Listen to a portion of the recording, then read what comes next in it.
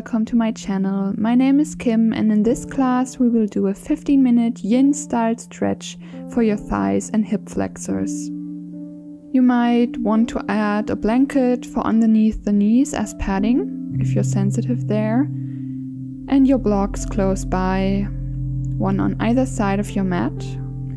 Come into tabletop pose on hands and knees and right away we will come into baby dragon, also called low lunge in Hatha Yoga. Your right foot steps forward to the top of the mat, aligning the right knee directly over that right ankle. You can let your hands come to the floor, but I personally find this pose easier to hold by bringing my hands on some blocks. Let your hips press forward and down, Soften the shoulders, the neck, and your jaw. Maybe allow the eyes to close as you settle into this pose. About three minutes here.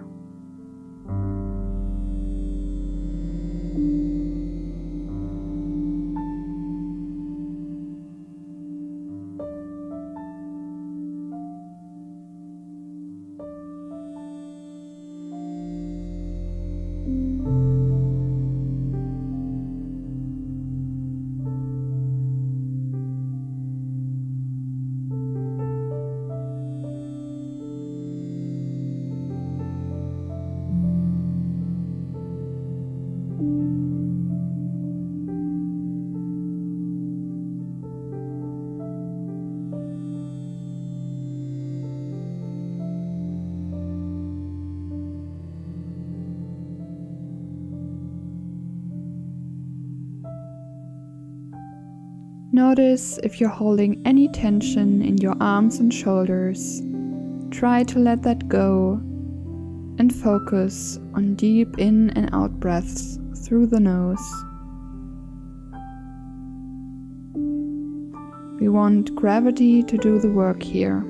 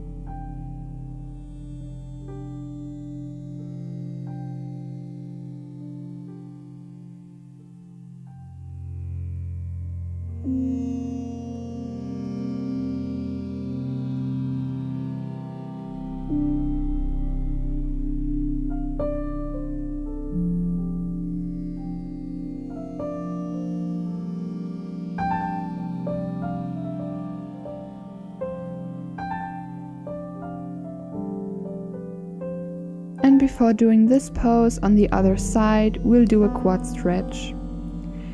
So lean on your left hand more, maybe remove the block if you had it there, and extend your right arm back to hold onto your left foot or ankle. If you can't quite reach, you could always use a strap and loop it around your left foot.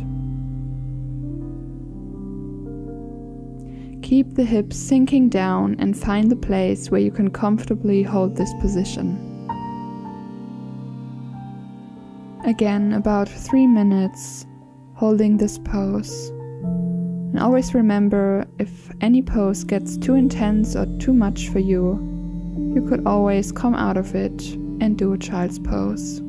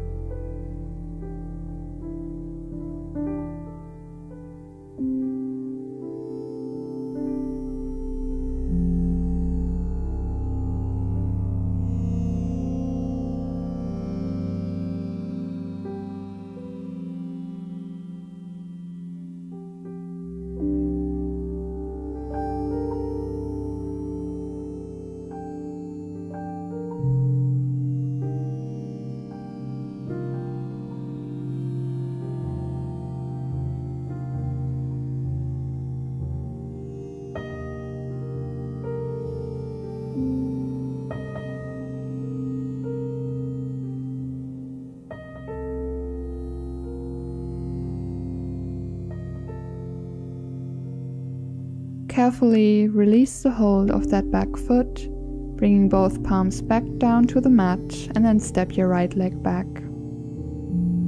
Before coming to the other side, maybe make some hip circles, anything that feels good.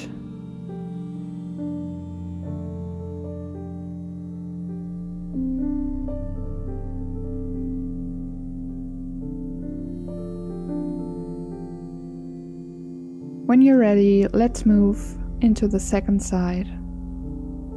This time your left foot steps forward in between your hands. Again, choose if you want to place your hands on some blocks. And always keep in mind that it's normal to have one side that feels a bit more open than the other. So adjust however you need to, even if that means that you don't go as far on this side as on the other one. Try to draw back your shoulders so that you don't overly round here. And just let the hips sink down. Gravity does the work.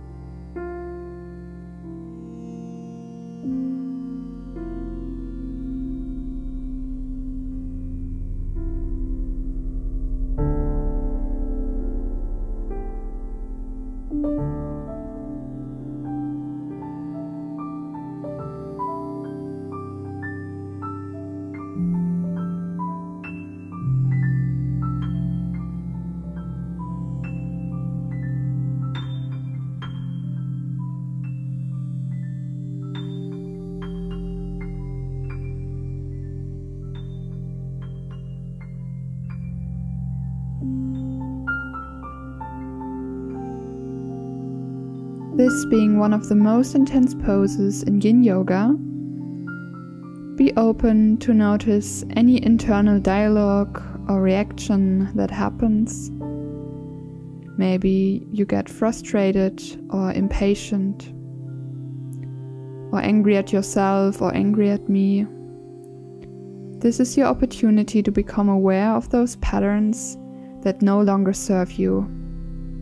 Allow them to come up and try not to judge whatever happens.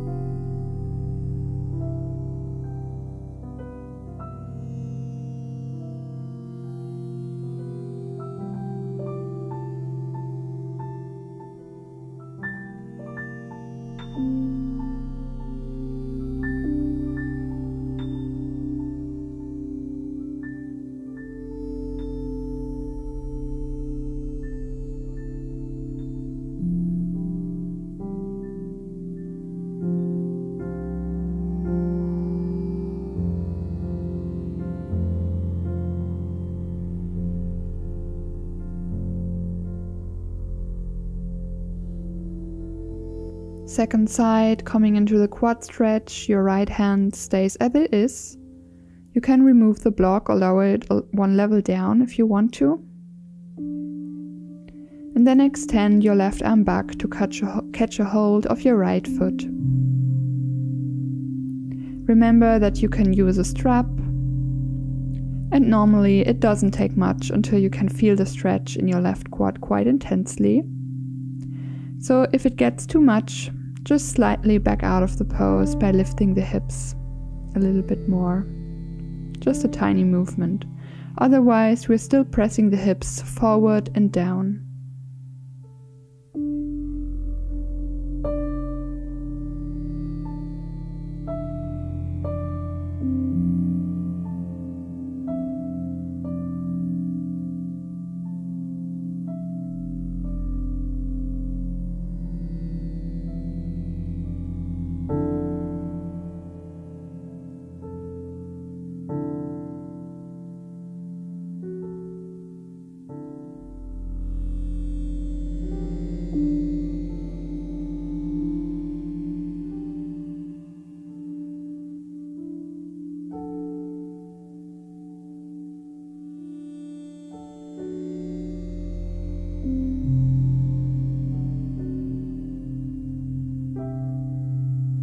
Soften the muscles in your face, around the eyes and your jaw.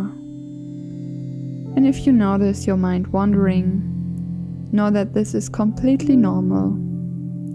And always just come back to your breath.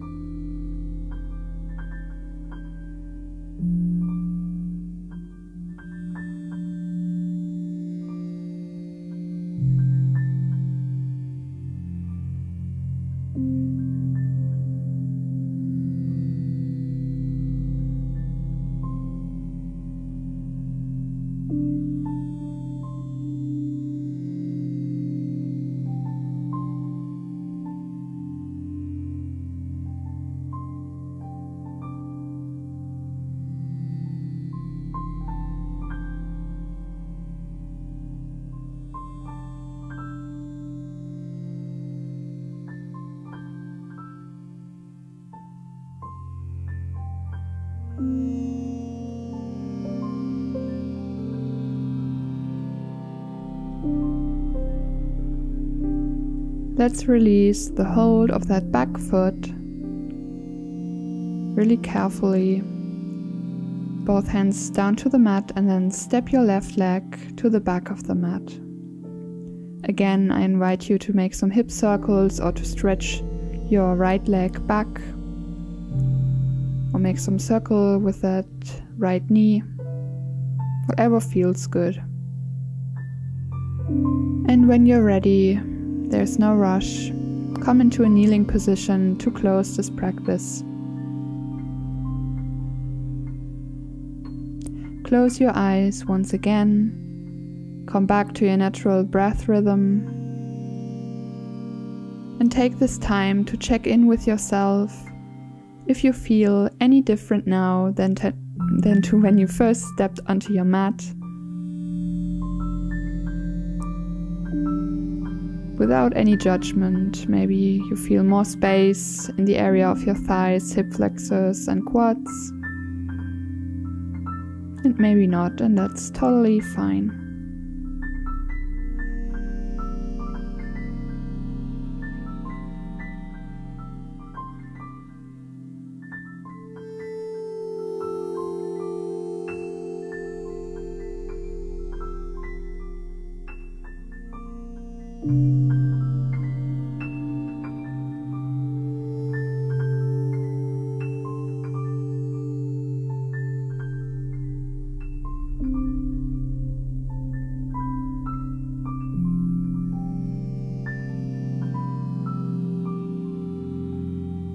Hands meet in prayer in front of the heart, taking one last deep breath in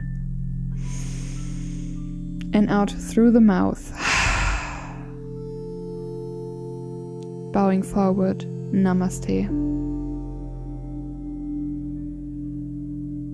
Thank you, yogis, for doing this rather short yin yoga class with me.